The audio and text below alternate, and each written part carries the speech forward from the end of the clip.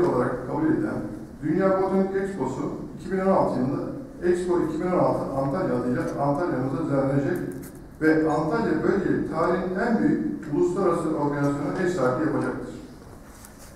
Çiçek ve çocuk teması ile gerçekleştirecek ve 6 ay süre ile devam edecek Expo 2016 çeşitli ülke katılımları ile yapılacak bahçe ve genel rekreasyon alanları bulunacaktır. Zengin tarihi ve 640 kilometrelik sahili inanılmaz doğal güzellikleri Antalya'nın Expo için neden doğru nokta olduğu zaten göz önüne sermektedir.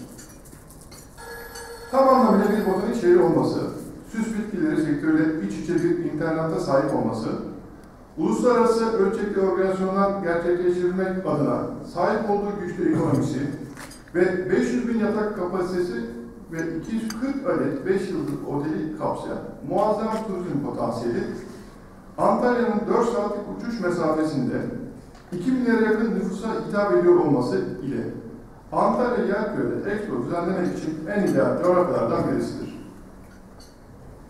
Yalnızca Antalya değil, ülkemiz için çok büyük önem taşıyan Expo organizasyonu, bulunduğumuz coğrafyanın özellikle tarım ve turizm potansiyeli tüm dünyaya duyurulmasının yanı sıra gelecekte yapılacak organizasyonlar için önemli bir referans noktası olacaktır.